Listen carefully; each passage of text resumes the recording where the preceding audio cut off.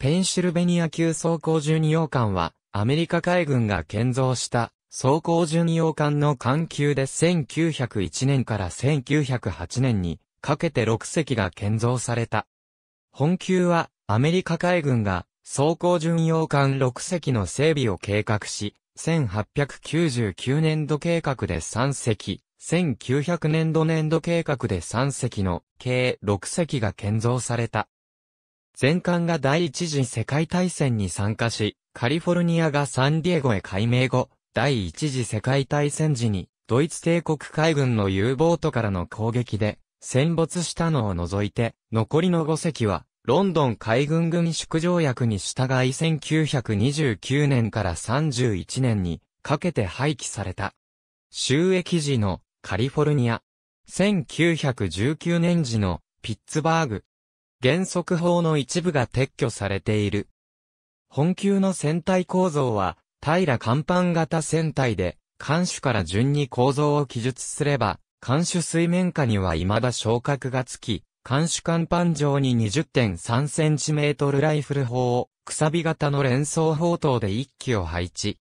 その背後から上部構造物が始まり、司令塔を組み込んだ、ソーダ環境を基部として見張り所に単装機砲を配置するミリタリーマストが立つ。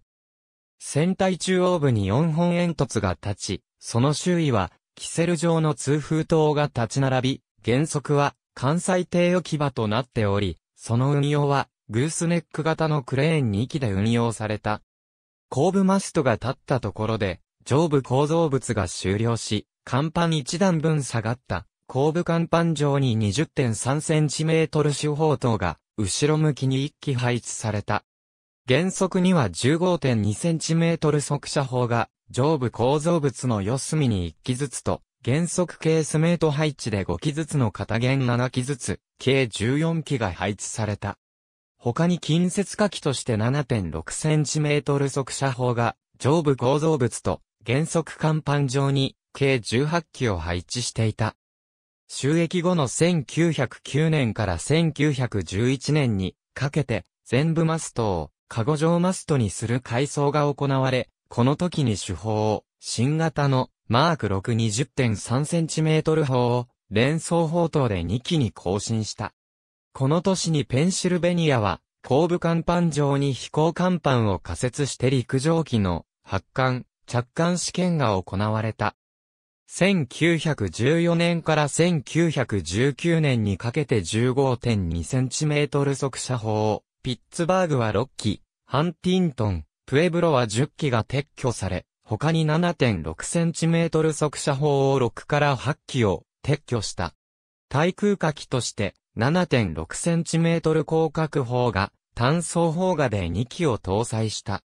この時に、プエブロは、ボイラーがニクローズ式からバブコックスウィルコックス式16機に改められた。1917年2月に、ハンティントンは後部甲板上に飛行機滑走台が設置され、水上機4機と気球1つが試験運用された。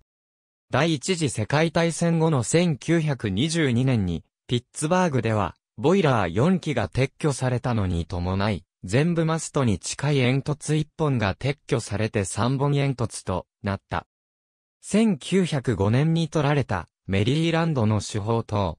手法はマーク5894年型 20.3cm ライフル砲を採用した。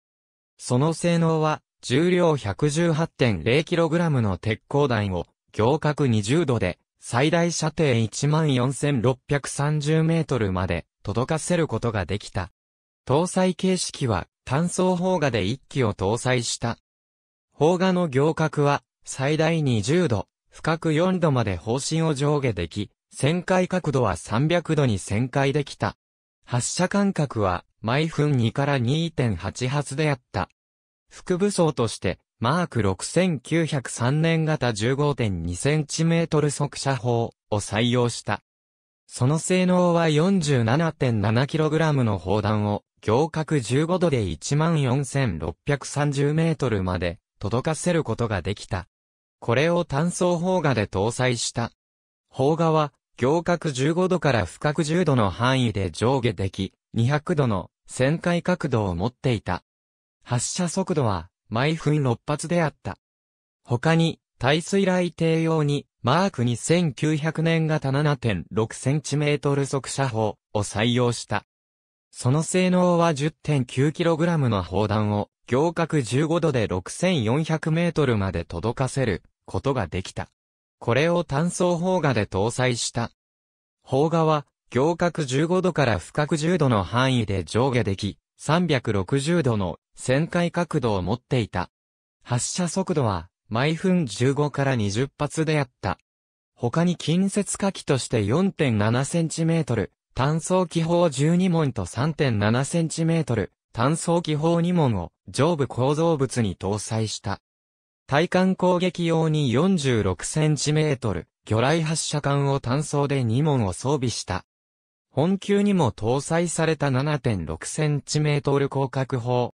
収益後の1919年に対空火器として、1914年型 76.2cm 広角砲が搭載された。その性能は、重量 5.9kg の砲弾を最大両角85度では、射程9270メートルまで届かせられる、この砲を単装砲画で2機を搭載した。砲画の不行能力は、行角85度、深く15度である、旋回角度は、露天で360度の旋回角度を持つ。